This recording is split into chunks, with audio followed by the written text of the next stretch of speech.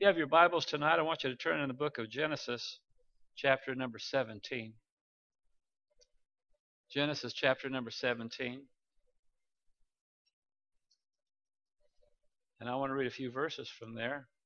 All right, when Abram was 90 years old and nine, is that old? 90 and nine years old, the Lord appeared to Abram and said unto him, I am the mighty God, walk before me, and be thou perfect. And I'm going to make my covenant between me and you. And I'm going to multiply you exceedingly. And Abram, everybody say Abram. Abram fell on his face, and God talked with him and said, As for me, behold, my covenant is with you and you shall be a father of many nations. Neither shall your name any more be called Abram, but your name shall be called Abraham. For a father of many nations have I made you. And I'm going to make you exceedingly fruitful, and I'm going to make nations of thee, and kings shall come out of thee. And I shall establish my covenant between me and thee and your seed after you in the in the generations uh, for an everlasting covenant to be a God unto thee and to thy seed after thee. Now go to Genesis chapter 24. Verse number 1, this is years later. Now he's not Abram, he's Abraham. It says that Abraham was old. Everybody say old. Well stricken in age. I'm feeling younger already. And the Lord had blessed Abraham in all things. And Abraham was old, well stricken in age. And, and the Lord had blessed Abraham in all things. Now, if you could think about that, that God out of nowhere in life with no introduction. He didn't have the gospel, he didn't have stuff preached to him. Just minded his own business, and suddenly God appears. And God says, I've got a covenant. I've already made it between you and I. He's saying that prophetically because he would cut that covenant. The Bible said he would go through in those two forms over that offering that Abram had, Abraham would cut in half. Um, and he would make that's how they made covenants the partners would go through those. Only he made abraham fall asleep a deep sleep up and he went with himself. And finding no greater to swear by god swear by himself up of this covenant. It's an unbreakable everlasting covenant. And so he is saying prophetically to him it's already done. See i'm too big for those situations. They're, they're never going to stop me. It's going to happen and he said, Listen, there's a covenant between you and I. You're going to have a seed, and your seed is going to also become nations. Whoa. And, and those nations are also going to have kings. And it's going to be an everlasting covenant. And there's going to be an everlasting blessing. And then it says, he went through all of his life, comes to the end of his life, and, and what is his testimony now? Uh, first of all, he is ancient of age, well stricken in age. Amen? That means uh, he certainly didn't die of anything that wanted to kill him or anybody that wanted him out of the way. They might be gone, but the old turtle's still moving along. Amen. All the all the rabbits are dead, and he's still moving along, and he's there. And the Bible says this is his testimony. And the, what it showed was that the Lord had blessed Abraham uh, in all things. I mean, how, how would you like to have it said of you that God took you to old age, stricken in years. Um, and the testimony of your life um, is that you were blessed uh, in all things um, in your life. Um. can I ask you, would your life be any different at that juncture if that was your testimony? Would your life be any different on the way to that juncture if that was your testimony? Would your life be any different right now if that was the life that you were going to live uh, that was going to produce that testimony that you would be blessed, uh, amen, in all things. How would your life be different uh, if you were blessed in absolutely all things. Did you hear what he said? He said, And God named him Abraham. Abraham, because his name wasn't Abraham. He said in chapter 17, his name was Abram. Everybody say Abram. His name was Abram. That was a prophetic name. Amen? It was a prophetic name. And uh, this name Abram, being interpreted Abram in the Hebrew, means to be a high and lofty father. You're going to be a high and lofty father. Now, he carried that name decade after decade. In those days, they named you after something special. Your name meant something. And they should be able to look around you or your life and see something about your life oftentimes that had to do with what your name was. And here's a guy that always came in. Who's this? This is the high and lofty Father. And decade after decade until chapter 17. Here he, he shows up with that name. Uh, and how many people is he a father of? He, he has got exactly that many children after all those decades of, but his name is still high and lofty Father. And God said, I've got a covenant with you and I'm going to bless you. And he said, I'm going to give you a new name. When I bless you, it's not going to be Abram, but he says your name is going to be Abraham, which is a different word.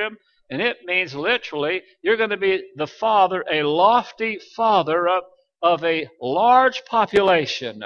You're going to be the father of multitudes, uh, the father of a huge group. And, and, and God explained that. He said, You'll be, you, You're going to be called Abraham because you are going to be the father of many nations and kings. Uh, and you're going to be so blessed with a lineage. Uh, that nobody's going to be able to understand it, including you. You're going to be the father of multitudes, and then there's, there's going to be nations, um, and, and, it's going to be a, a family like nobody's ever thought of having. Only one problem. Amen. He has no children. He's 90 years old. And the Bible says it, this is no special scientific special guy. It said that he was beyond his years. Uh, and the gear, the gears, the mechanisms were no longer working. Uh, he was stricken in age and had no possibility of having a baby. And of course, Sarah was well beyond, beyond her age, the Bible said, and she was beyond the age of being able to have children. So there was something that was needed that I mentioned that he needed a miracle for this to happen. All he had was a prophetic name an appearance of God. And it didn't happen today or tomorrow, it would happen in years from now. God would come back and visit him and bless him and say, Now is the time. And when we plug into him at this time, when he's old and well blessed, uh, amen, he still hadn't had those kids. Uh, and now God is going to say, And you are going to have the children, and, the, and you're going to be blessed. Uh, and you, it's going to come to pass right now. And and Sarah's going to laugh and all of these things uh, during these chapters between 17 and, and 20. So he needed a miracle. He was old and barren, um, and he didn't have kids, but he had a promise. And, and suddenly the promise appeared. When he was about 100 years old, the promise appeared, maybe 110, and uh, and he had a miracle. It was a baby he had a son, his beloved Isaac. That wasn't all. Then he found that through uh, God's blessings in his life that he would have eight more. Amen. Isaac would have eight more, nine more, and then ten more, and then and then his grandson would have Jacob would have a, a couple of more, and now he would have it would go up to now there's twelve of those, and plus Isaac, uh, and he's got 13. And then as time goes on, he lived a long time to be able to see uh, a, a, lot of his family, but he goes on, and, and suddenly it, it goes on to the hundreds. Uh, and, and, at some juncture, he finally leaves this world, uh, but the promise of the covenant goes on, and it goes into thousands. and then as the time goes on, it becomes multitudes and becomes a twofold seed. The seed, the Bible says, oh, I didn't tell you about this, but remember when I said uh, sands of the sea and, and stars of the sky?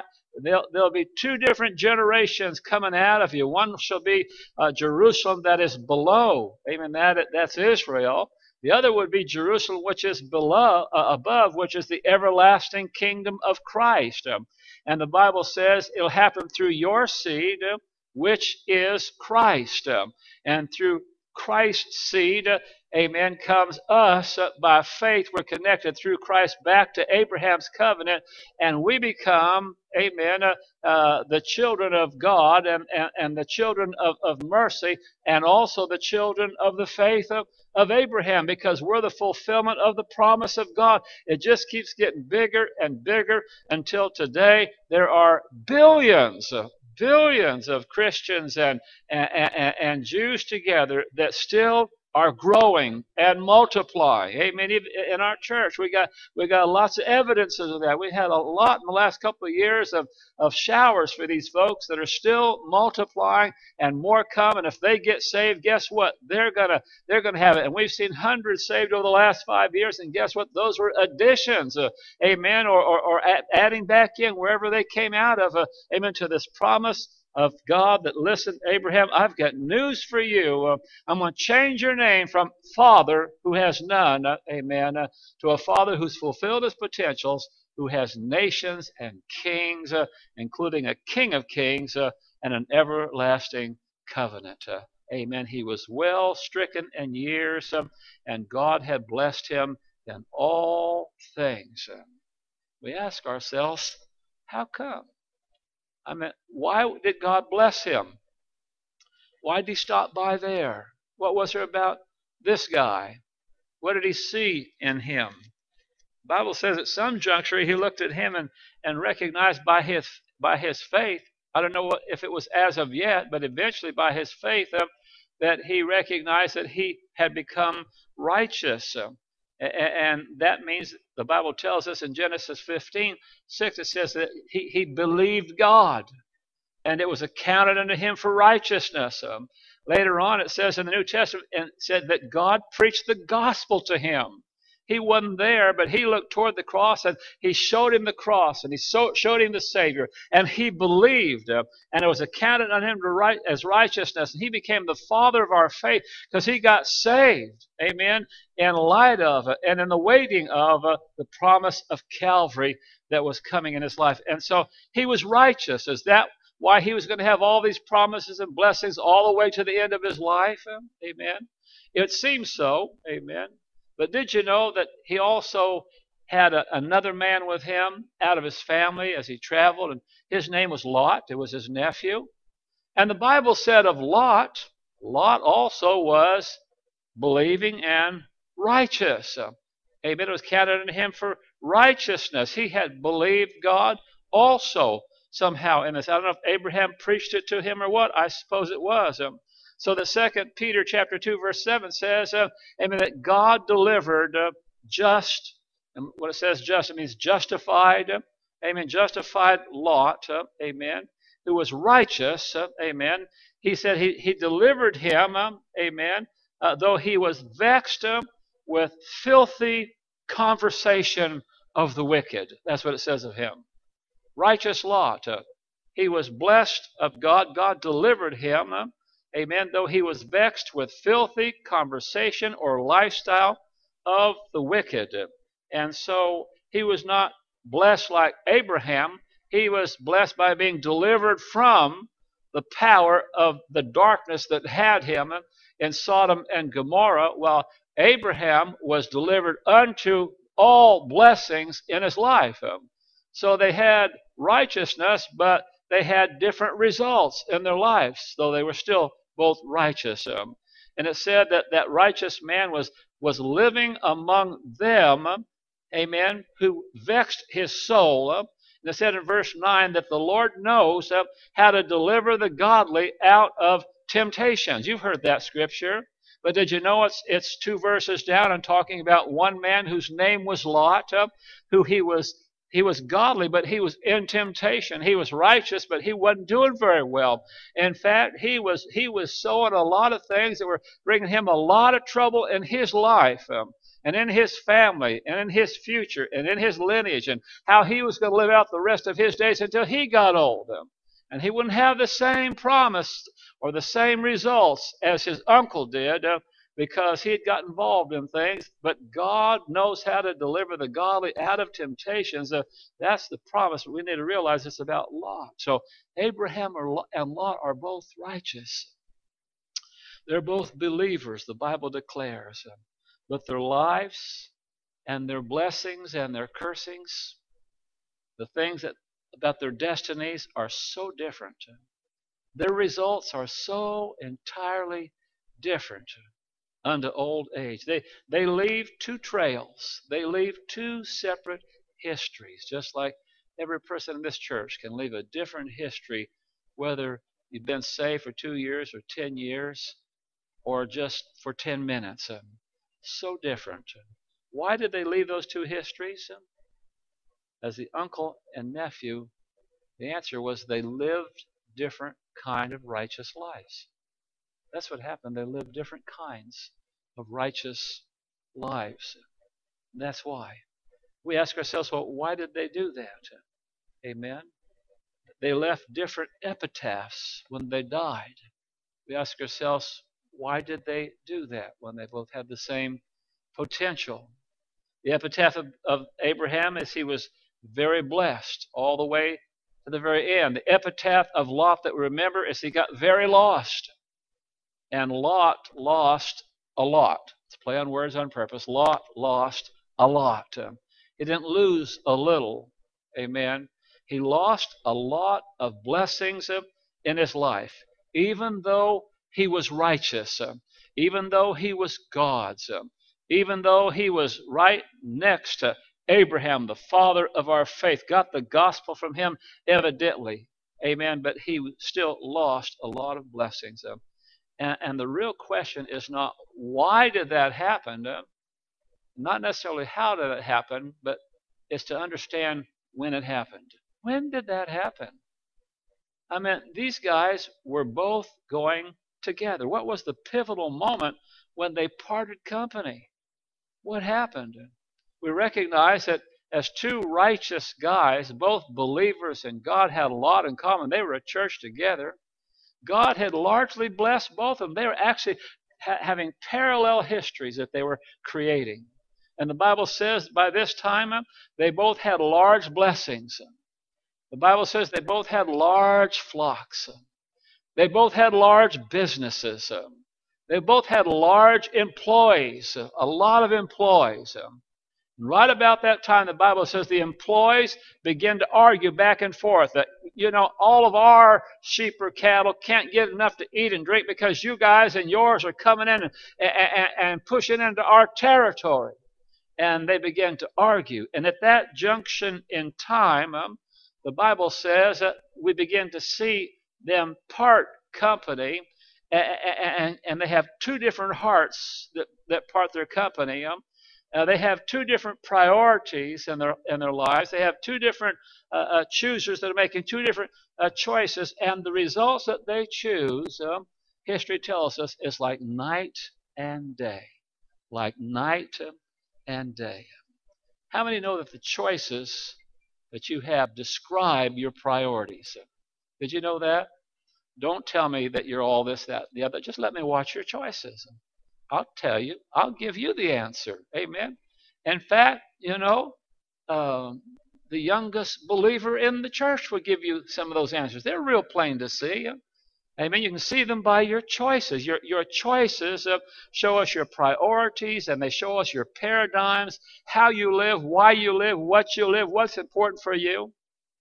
And, and they show your faith uh, and, and, your righteousness. And, and they create in you this condition.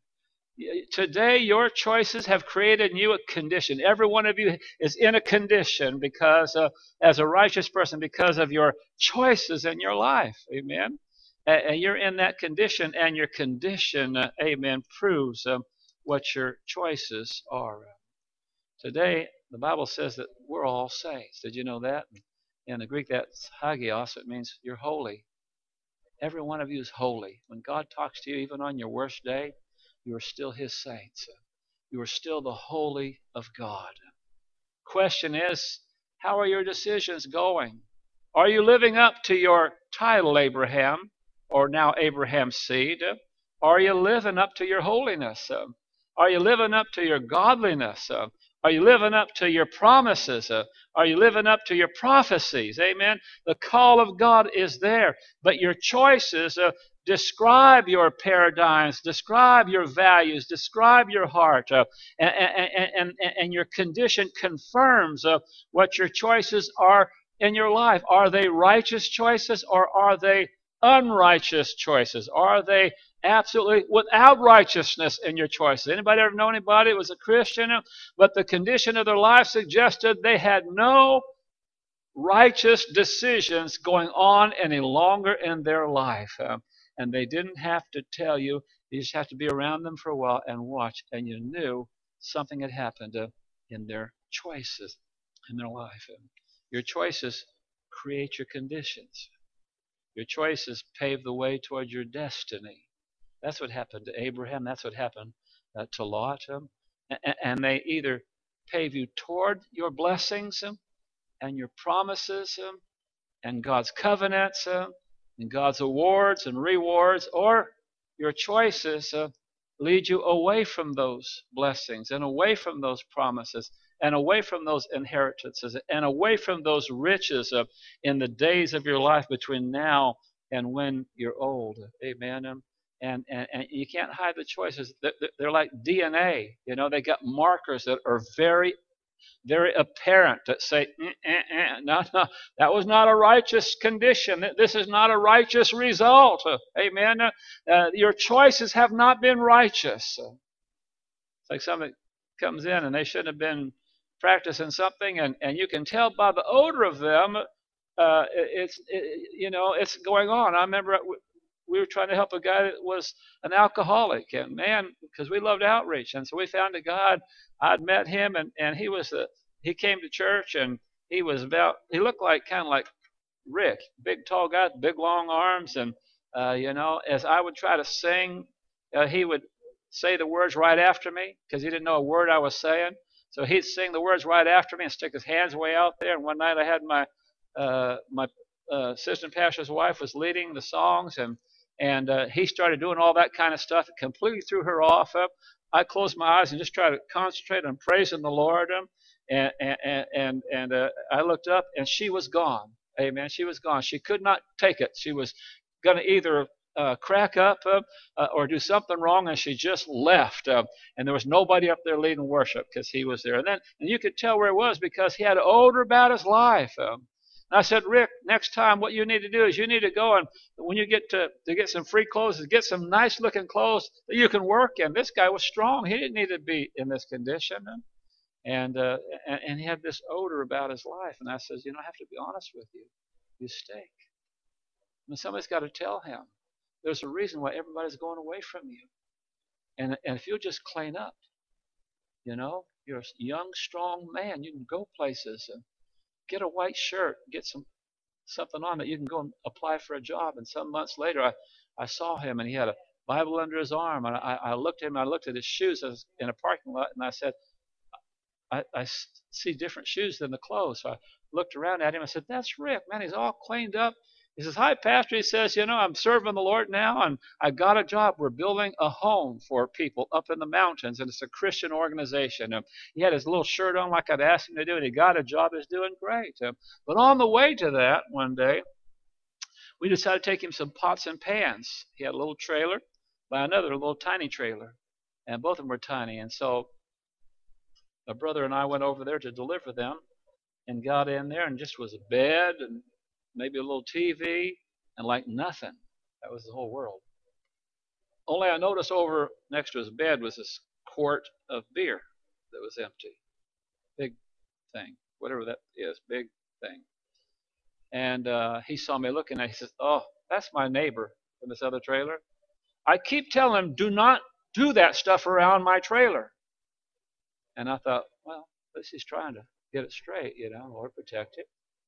After a while, we walked outside and we were talking, and I said, Rick, there's one thing you have to know. We're here and we're behind you. But I said, I'll never give you, we'll never give you money again.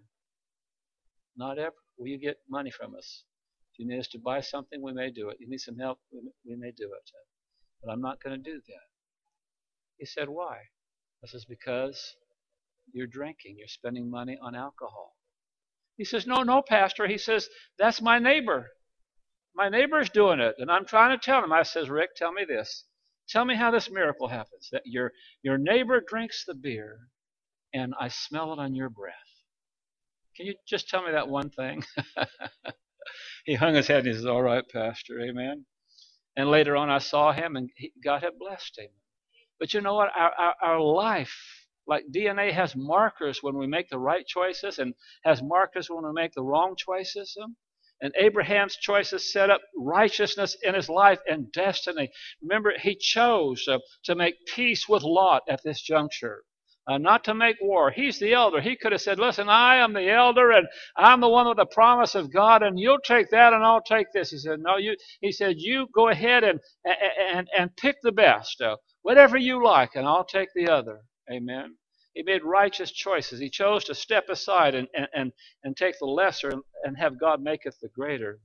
Amen. And he was greater to his old age. So they both were righteous, but their cho- cho- choices, I'm sorry, were defining their destiny. Amen. And you, you know the choices of Lot. Amen. The Bible says uh, he had a series of choices. And it says in one place that he pitched his tent. This is way out there with Abraham and the group. He pitched pitched his tent so he could see Sodom. Amen. And when you pitch your tent towards some place, uh, there's a reason for that. Amen. Your DNA is showing through. Your choices are showing through. When he got up in the morning, he could still see the. He could smell the food they were cooking down there that they didn't have. Um, at night, he could he could hear faint sounds of the parties and all that stuff, and and, and see the lights twinkling down there around Sodom and Gomorrah. It, it was an unrighteous choice. Amen. It, it, it, it was the aim of a, a sinful flesh. Amen. And, and, later on, he, he picked a, a place and, and he pitched, pitched toward there when he was closer. And, and then he, he, because he was pitched toward there and saw it enough, he finally decided to move in. The Bible said he went ahead and moved down there. And why not? There was an apartment open. Amen. Uh, can you believe that? This has got to be God. An apartment was open in the best part of Sodom. And I got it for a good price, you know, and, and I, I didn't have to pay. God bless me. I didn't have to pay the cleaning deposit. Amen. And this got to be God. Amen. He had the lust of the eyes, and then, then came that lust of the flesh. He had to he had to have it, so he made unrighteous decisions, and and and, and, and he'd already picked the well-watered plain, and and and, and he, took the selfish route. Amen. Um, and finally, he set up his house in an evil neighborhood. Amen. It was evil. Doesn't matter what he said, no matter how he tried to build this thing up, it was evil, and it didn't smell right. And uh, while he was there in that unrighteous choice, he, he set up his house there and, and then he let his wife affiliate with the people of the town. Amen. Now, you know what happened with that story. She began to fall in love with the folks and the lifestyle and the culture. He could have had a wife for a long time. Amen. He could have had a different testimony, but he made choices. And those choices caused him finally, amen, to keep his daughters in an evil atmosphere of where sexuality and evil sex was was the order of the day and just accepted. Amen. And so that finally, when God brought him out of there, uh, his daughters, having lost his wife, his daughters decide that they knew a lot about sexuality and they're just going to have sex with dad because that way they'd do the right thing and, and they could have a seed because there's nobody else around from the family longer. And in sin, and, and they mo- he made uh, Moab and, and Ammon, I believe it is. So the Moabites and the Ammonites, uh, they came out of that seed of a wrong decision. Amen. And, and you study the results. Amen. Our choices have results. So You can choose the, the greater destiny or you can choose the lesser destiny. The greater inheritance or the lesser inheritance. Or you can choose no inheritance at all. Even as a righteous person, that's the message of, of God. A wise man said, Sin's going to take you farther than you wanted to go. It's going to keep you longer than you wanted to stay. It's going to cost you more than you ever thought you were going to have to pay. Isn't that the truth? Choices do that thing. Amen. When you when you make a wrong choice for sin, even for the righteous, it'll take you farther. It, will keep you longer. It'll cost you more than you ever thought. And I can tell you, after about 41 years now of ministry, I've seen this over and over again. Our choices pave the road of our destiny to old age. You've heard me say before, Anne Frank, having seen this German monster that appeared that used to be just regular neighbors and regular people before she, they were carried away and caught. Um, she penned in her diary, looking at the results there of this evil round about her and the hiding they were having to do and, and all the things of the Holocaust. She said, she wrote down, first we make our choices. And then, this is a teenager, and then our choices make us. Amen. She was so right. Amen. First we make our choices. And then they make a, a change in our heart. That's what happened to Lot's choices. Amen. He was captured by four kings, and then Abram, Abraham came and bailed him out of it. And guess what did? He went right back down into Sodom and went right back down to the midst of it. Um, because you couldn't get the Sodom out of him. Now, you might get him out of Sodom, but you couldn't get the Sodom out of him. And it cost him his home, his business, his wife, amen, later his daughters, his reputation, and his family. And though he was called righteous Lot, uh, he made choices, uh, amen, that caused him uh, to inherit conditions uh, that did not even replicate righteousness whatsoever at all. Until today, when I ask you about righteous Lot, what can you tell? What, what comes to your mind when I say righteous Lot? What stands out when I say righteous Lot? He was righteous. The Bible says so. What stands out about his life? Anything for you? The answer is no, because that's his DNA, that's his markers, that's his reputation, that's his results because of his choices. When I say uh, Abraham, I, I, say, first of all, Lot was no Abraham, that's for sure, because look at Abraham. Abraham's life says blessings uh, all the way to the end. Uh, amen. The father of our faith, uh, the seed of Christ. Uh, amen. A beloved of God, a wonderful man to follow. David, you know, had a plan how to take care of this because uh, he read about these things, I'm sure.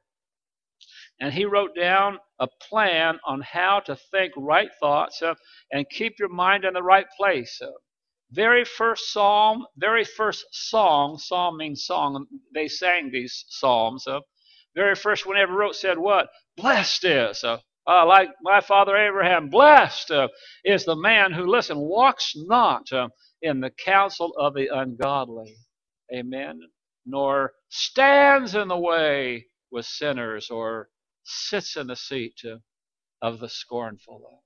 But his delight is in the law of the Lord. He's made some choices. And in his law does he meditate day and night. Um, and the blessings of God shall come to his life. And, and he's going to have a report like righteous Abraham that even when his days are done and old, despite the failure in the middle, he will always be remembered as the king that was the apple of God's eye, the worshiper that worshiped with all of his heart, uh, that did not lead Israel to sin, but led Israel toward the blessings of, of the worship of Almighty God. Amen. Um, our, our, our choices of, amen, uh, uh, uh, affect our lives and our, our decisions on meditations and our decisions on how we're going to face life and, and what we're going to follow and what our paradigm is going to be. Uh, amen. Makes a huge difference in our destiny and in our roads uh, that we that we go on. And and actually, uh, it starts the cycle of our blessings, or it ends the cycle of our blessings. It all comes back to our choices.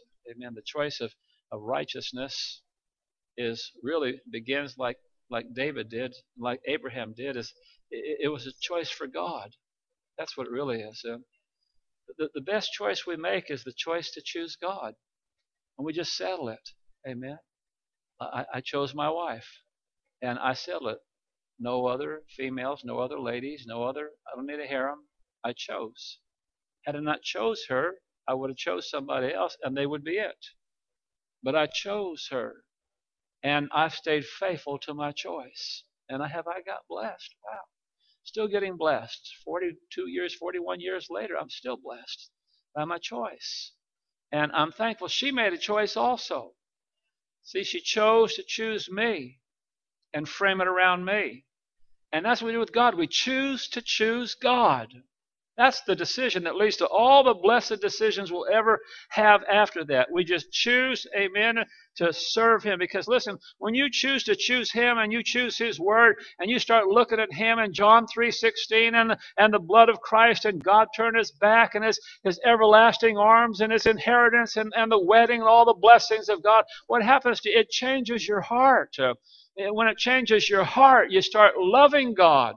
And when you love God, guess what? You're going to make good choices. What did they say? What did Jesus tell them about how to make it through successfully in life and into eternity? He says, listen, here's the answers. Twofold love God with all your heart, mind, and soul and strength. Make that choice. Uh, and then choose to love people uh, as you love yourself. He said that'll take care of all the law, all the prophets, everything you're going to ever need, all the way to your old days and into inheritances. Uh, you'll have blessings, but you've got to choose to choose God and choose to choose the blessings of the Lord and choose, uh, amen, to love. Because uh, love covers a multitude of sins by changing our hearts so that we don't want to sin changing our minds so we don't desire to do that, changing them, amen, uh, the borders of, of our morality so that we don't even entertain that. We don't put our, our, our, tents towards Sodom. We don't get a little closer. We don't make unrighteous decisions. We don't go into that town. We don't rent a place there. We don't start lying and say, God's making this thing great. No, no, no. We'll stay like Abraham. Oh, we may not have the best party going, uh, but we got the best life going. Uh, and when all is said and done, we'll have the best epitaph uh, and the best blessings. I, I, will be excited, I think, to see Abraham up there, just see the guy that started this all with his simple faith uh, in God and his choice. I saw his choice, amen, to take his son's life, his only son's life. And God said, Whoa, whoa, stop, stop, stop. I'll take care of it. I'll take care of the sacrificing of the son. It's okay. But now I know, amen, that you are really after me. Why, I saw your choices, amen, come out. I, I could smell the fragrance of, of what your life is really like. He was blessed not just to be a father or a father of nations, amen, or a father of a seed, but he was blessed to old age beyond those things that would be coming in eternity. The Bible said, still, what he had, amen, was evidence of the fact that God was blessing him. He is blessed in all things. Amen. And uh, when when we hear a Lot, we don't think about those things, but when we hear about Abram, we think about those things. And, and that's the real message of God tonight as I close, and that's simply this God wants Abraham's blessings for us. You may not realize it, but you have a mark on your life. You're Abraham's seed. Did you know that? What does that mean? It means that including Christ, you get the promise of blessings that came to Abraham and his seeds and his seed seed and the seed as the stars of the sky and the and the sand not only in population but in the level of blessings. I have not seen and ears not heard. It hasn't even entered into the heart of man the things that God has prepared for those that love him those that have chosen to choose God inside of their lives. Uh, all of his blessings hinge uh, on your personal choices uh, and your church, your personal paradigms of how you're going to lead your life. Because when you're done, your account is going to be invested in and grow a great interest of inheritance and rewards and blessings. Um, one little offering at a time, one little offering at a time. What you decide to sow in a little seed, I'm glad there's no great big seeds in general for most things, little seeds. What you sow in a little seed, amen, will shall bring forth fruit, and you'll sow that. And this seed you'll sow, And the Lord said, By the way, let me tell you how to make this right. In the decisions of the seeds that you sow, do not sow your treasures on earth where moth can corrupt, where the cankerworm can come in, and rust can devaluate that thing, and, and, and then in eternity it's worth nothing anyway. You don't have those things. Abraham was, was blessed, but because that was not his priority. He says, but listen, you build up your, your savings, your treasures in the kingdom of God. Jesus said, understanding what that place looked like, he says, because I know up there, the moss can't get there, the rust can't get there, nothing will corrupt it, it's going to multiply, and wait till you see how big your nest egg is when you get there and God gives you that and all of the entrance, the interest. All you've got to do, amen. You're called, it's in your DNA, amen. It's the predictor of your, your potential blessings, uh, and they're all yours. Just decide for God and make your choices based on that decision. Loving God, loving others, delighting in the Lord, delighting in the Word, trusting in Him, looking past the things you could get now to the things that you'll have forever and live at peace and rest. My wife says some people are poor and they're just absolutely blessed anyway. Somebody said that in Africa, amen, and, and it's true. And besides that, God will also bless your finances. If, if, if you are worthy to carry a blessing, um, amen, don't be surprised if God drops it in your life. If you can't handle it, He's not going to give it to you. If you can't handle power, don't don't don't think he's going to make you a leader because he don't want to see you hurt or other people's hurt. But if you can handle that, he's got plenty of spaces. Amen. God has blessings uh, that you have not even thought about uh, beyond your uh, your your your greatest imagination. Amen. It all begins by our choices. Let's build our treasures in heaven with God. Can you say amen?